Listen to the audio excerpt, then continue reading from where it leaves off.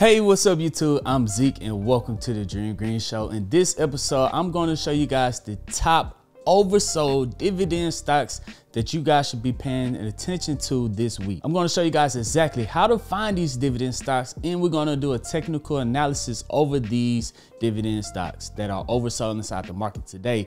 Now, the key is why are we looking at oversold stocks? Because the number one rule to investing is to buy low and to sell high. While some people like to get in on hype of the stocks because it's going up and they are not value investors, they're just buying off hype they eventually get bit in the behind because they end up selling low when the market start to pull back. So we only look for good quality stocks. So I'm gonna show you guys how to screen out all the bad stocks out there, stocks that we would never look at in our lifetime. We're only gonna look for good quality dividend stocks. So let's say that we're looking for a 3% dividend yield. We're gonna measure out thousands, tens, hundreds of thousands of companies and we're to measure it out to just three in this video. I'm to show you guys how to do that in this video. But before we dive into the video, this video is brought to you by Webull. Sign up now by clicking the link down in the description. Deposit any amount of money and right now you receive five free stocks valued up to $9,300. With those five free stocks, you could keep it inside the platform and decide to use it, or you could sell those five free stocks and withdraw all of your money. Guys, it's literally free money.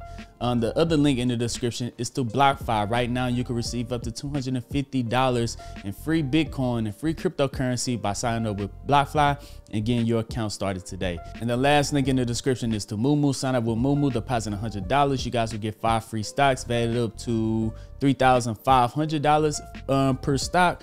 Once again, those five free stocks, you could keep them in or you could sell those five free stocks and withdraw your money. Guys, it's free money. Do not miss out on all of those opportunities. If you guys want to jumpstart your portfolio, that is by far the easiest way to do it. But enough talking, let's go ahead and dive straight into this video.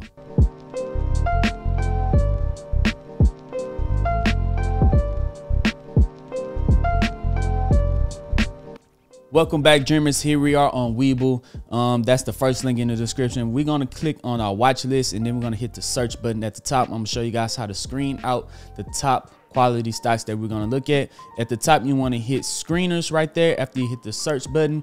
And then right there, we're going to go ahead and pull up the parameters that I had already set up for the oversold dividend stocks. So let's click on that. And then I'm going to show you guys how to set that up. So right now we are, it is an alphabetical order, but we're not worried about alphabetical order. We'll look for good high market cap companies. So we're going to click on market cap and sort it by market cap. There it goes. Now the dividend yield is also on the right. So uh, TSM is not in our range. So we're going to take a look at CVX which is Chevron Corp. Let's take a look at Bank of America. And let's not take a look at that fourth one because I don't want this channel to get uh, demonetized for me even saying that name on YouTube. So let's go ahead and take a look at UPS right there. It has a 3.25% dividend yield. So a quick look at CVX before we do technical analysis. A quick look at CVX. Bam, right there over the last month, they are down. They had a big, huge pullback over the last five days. They are still down 5% over the last five days, but also another huge pullback. So as you guys can see, over the last month and over the last week, they are down. But over the last three months, they are still up 26%. So we are wondering, is this a good buy? Well, we're gonna go in and do a technical analysis just so we could take a look at um, a deeper in-depth look at these three companies. Now, let me show you guys how I screen out these stocks. You wanna go ahead and after you click on, on screeners, you could click on create new screeners. Now I already have some right here. I have oversold dividends, oversold 16, oversold 24. I have my high dividend stocks. I have my high dividend yield bank stocks. I have I have a couple of screeners on here that helps me identify a good value in these companies on when I could buy some of these great companies at a great value. So right now you could click on create new screener. So once you click create new screener, you could look at all the exchanges, the NASDAQ, New York, American Stock Exchange, whatever. So we're going to make sure it's in the region in the United States. You can sort it by market cap, um, any price that you want. You could have the penny stocks in there if you want to. You can eliminate the penny stocks by making it going all the way up, anything above $2.9 billion market cap. You can do it by price. Um, let's say you're looking for stocks from um, $5 to $20 You could do it by percent change, listing dates, and then also down here, as you guys can see, you could do it by dividend yield, what percentage you want to do it at. You could do it by dividends. You could do it by the PE you could also look at the technical indicators. You could look at MACD, Golden Cross, KDJ oversold, RSI 16 oversold, the MA5 crossing over the 10. You could look at a whole bunch of different indicators. In fact, I'm going to do a video very soon of the MI5 cross over 10. That is a very good little swing trade indicator that we pair with the RSI oversold to make sure that we are getting in the right direction of the trend of the market. So um, if you want to see my exact um, screener for RSI oversold, there it is right there. I could I could screenshot a more in-depth um, setup of my screeners inside of the Patreon. Oh yeah, guys, if you want to join the Patreon, the link is down in the comment section over in the Patreon. Patreon to take you to my Discord. Inside of the Discord, I post every single time I buy and sell stocks. I post my technical analysis, my swing trades, my option um, trades, and also we have pro day traders in there that post all of that option trades in there every single day.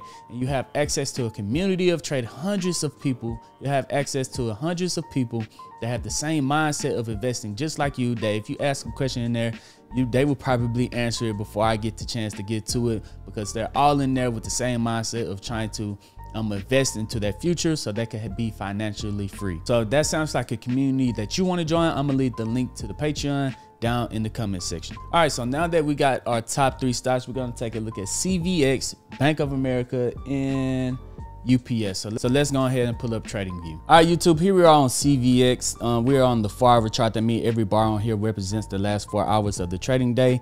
Now, it is oversold as you guys can see down here on the purple chart. It is oversold. That is my RSI indicator is under 40 but it did pull back to it's looking like a small support level and it's not in a range that I think that I'm comfortable buying CVS although they did have a huge I mean, an absolutely huge run up over the last year or so. Let's look at the measuring tool.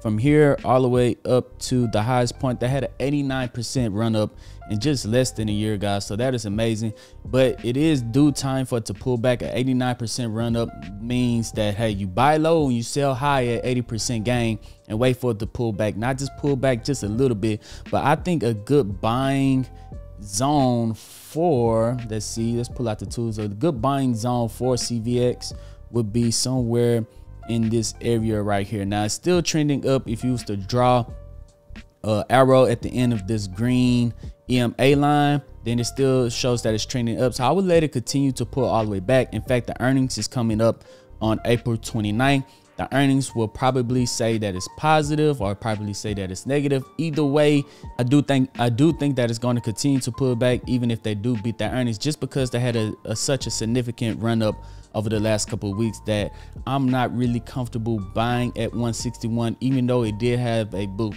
a big pullback. If I was to get into CVX, I'll buy one share right here. If it pulls back to this zone right here, I'll buy two shares. And if it pulls all the way back to the zone I'm comfortable buying, um, CVX at, I'll buy five shares. There where I'm able to dollar cost my average on the way down of CVX. So let's look at the next one, BAC, Bank of America. Now, Bank of America, as you as you guys can see, the green MA line has crossed the MA line, so it is in a pullback, but they just did have a good earnings report. So let's see exactly what is a good support level. So let's see exactly what's a good support level for Bank of America. So let's go all the way back. Here we go. All right, so let's pull out the rectangle tool again and draw out a good support line right there. So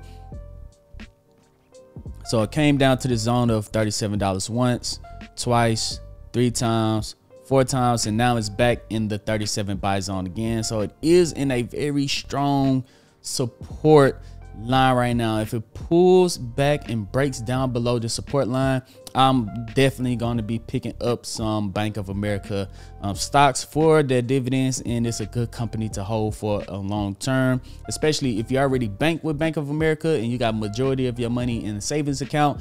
You will make more money in dividends than you would uh, of a 0.001% of interest in their savings account. So if you're already with Bank of America, if the price pull back anywhere under $37, let's say it goes to 36.80, that would be a good buy. And then you can also dollar cost on the rate down on Bank of America. But if you guys want to be patient, you can wait until the MACD cross. I'll go, I've, I've made a MACD video before. If you missed out on that video, I'm telling you guys you need to subscribe to this channel so you don't miss out on crucial information like that. So once again, anything under the $37 price points for Bank of America was we'll see as a pretty good investment long term for Bank of America. So let's go ahead and pull up the last stock, UPS. Now UPS, they do have their earnings coming up soon. It is on the 26th. Hopefully this video might be out before the 26th. I highly doubt it. So let's go ahead and try out some predictions. All right, so if we scrolling back, so scrolling back on UPS, they have beat the last one, two, three, four, five, six, seven of their last earnings, and they have an earnings coming up on the um, 26. So I, I, expect them to beat their last earnings. Um, on this earnings, it significantly shot up. This earnings it pulled all the way back, even though they beat their earnings uh, but it did pull back to somewhat of a support zone in this area right here. So if you do think Bank of America is still overpriced, even though it is pulled back, according to our screening, it is oversold on the RSI. Um, if Bank of America earnings do come out and they do beat it based on historical data, they might beat it, but every time they beat their earnings does not mean that it pulls back. In fact, the last one they beat their earnings, it shot up and it was so overpriced that even though they beat their earnings on this one, it pulled back. So they beat their earnings when it pulled back, it shot back up. And then they beat their earnings again, it shot back up. So the next earnings is coming up. It could shoot up or it could pull down, uh, pull down. So if it do pull down to this good buy zone right here of around $180, $175, that would be a good price to get on UPS. We uh, if it shoots up, then just be patient and wait and just um, remember the goal is to buy low, sell high. If it shoots up, don't buy at the all-time high. You guys want to wait for it to pull back. So that is a little quick tech, the very quickest, simplest technical analysis that we could do on these three companies. And there we go, dreamers. That is the top three oversold dividend stocks to look at this upcoming week. Some of them have already had their earnings. Some of them got their earnings coming up. So um, if you use any screeners at all, go down to the comment section and let me know what screeners have you been using to, to find good companies at a great value. I would love to check out what you guys have to say down in the comment section. But other than that, guys, I'll keep you updated on every time I buy and sell stocks over inside the Discord. If you guys want to be a part of that, that link is down in the description. Don't forget to pick up your free stocks with Webull. That's the app that we use with the screener. Um, Coinbase, BlockFi, Moomoo. Free money, guys. Do not miss out on any of those opportunities. But other than that, I'm Zeke. Bring you the Dream Green Show. And I'm out. Peace.